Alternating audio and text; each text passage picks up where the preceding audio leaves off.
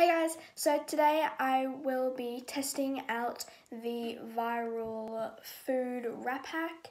So let's just get right into it. You will need any type of wrap. I'm just using this one, one or two eggs, any type of cheese, and a pan.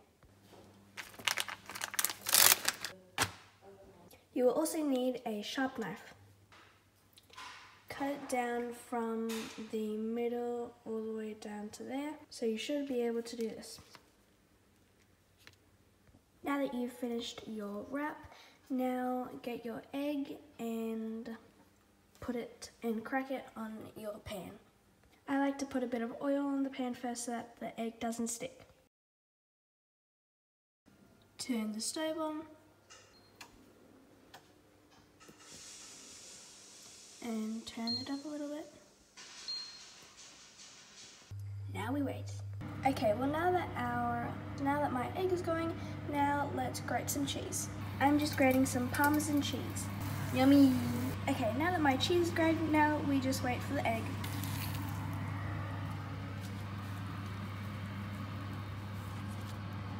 Make sure to put it on this side of the wrap.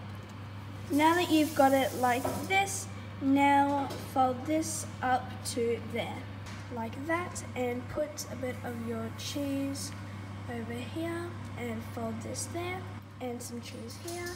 Yours should look like this. You can put your wrap in a toaster like this, or you can put it on the stove, which is what I'm doing.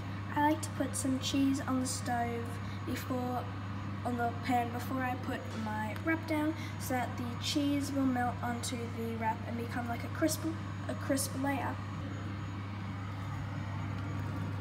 And save some for the other side of the wrap.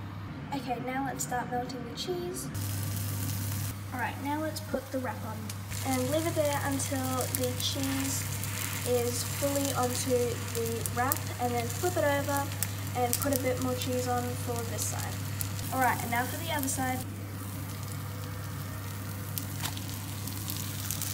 Alright, and while that's going, now it's time to clean up. Alright, I think it's ready. Okay, time to try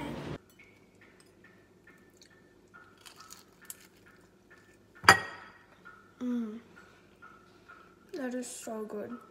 If you do decide to make this, I hope you enjoy making it. Bye guys!